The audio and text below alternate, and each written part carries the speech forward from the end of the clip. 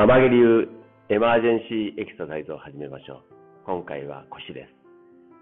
腰の痛みのほとんどが膝からももに向かってちょうどももの真ん中に原因があります。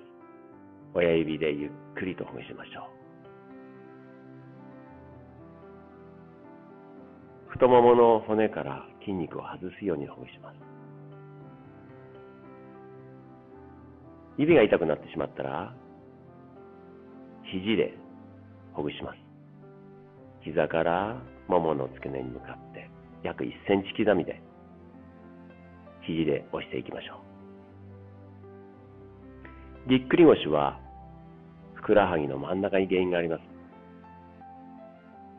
横からゆっくり指で押し込むようにほぐします。また、ふくらはぎを掴んでゆっくりと引き上げてほぐします。アキレス腱もほぐしてみましょう。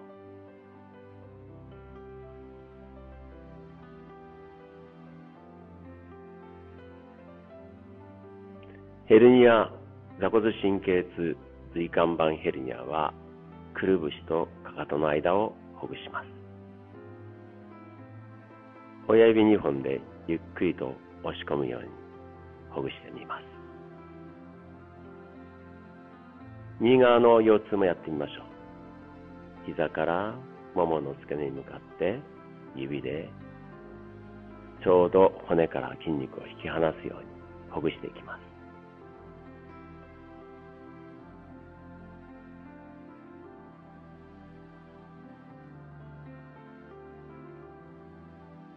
2回か3回ぐらいやると効果が上がります。指が痛くなったら、やはり肘で膝からももの付け根に向かって1センチ刻みでほぐしていきます。ぎっくり腰はふくらはぎのやはり真ん中に原因があります。指でゆっくり押し込むようにほぐしてみます。ふくらはぎも掴んでふくらはぎ全体を柔らかくするといいんですね。骨際もちょっとほぐしてみます。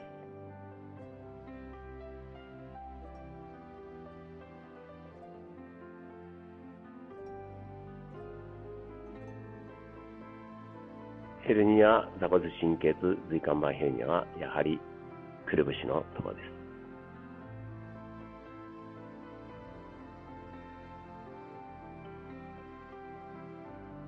どうですか？